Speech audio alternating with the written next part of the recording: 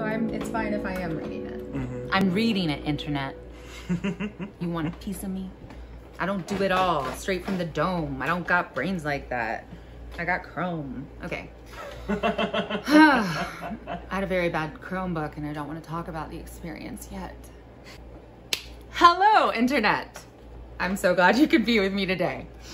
Uh, welcome to Gathering Paradise today. Thank you for spending your time with us.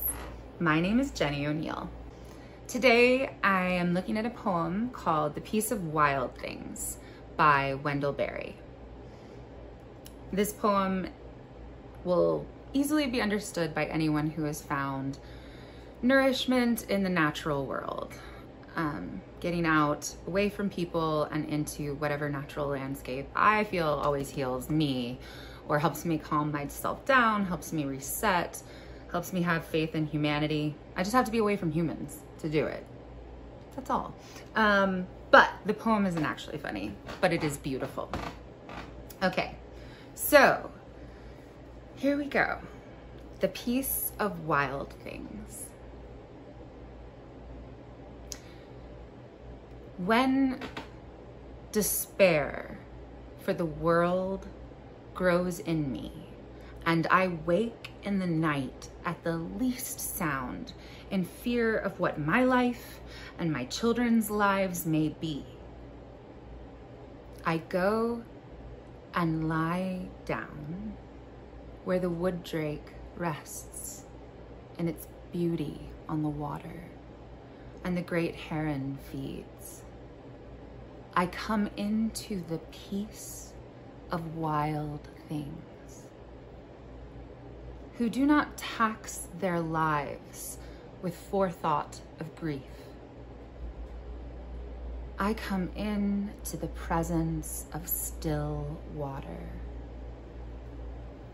And I feel above me the day blind stars waiting with their light.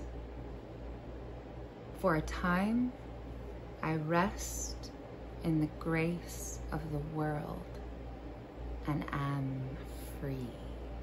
It's very healing if you've ever had time in nature and getting away from modernity, people, the noises that people make, and getting into some kind of quiet space in whatever natural landscape you're in, and uh, being able to sort of reset and feel hope again because you can connect to something much greater than you, which is the vast beauty of nature. So, it's a hopeful poem, although it begins with, when despair for the world grows in me. so, um, hopefully for anyone who's despairing right now, uh, this poem can help a little. Or if you don't like the poem, or like at least one of the lines, maybe the lesson, going outside, even for five minutes. But maybe lying down for a whole afternoon. I have a feeling Wendell Berry was outside all the time. All right.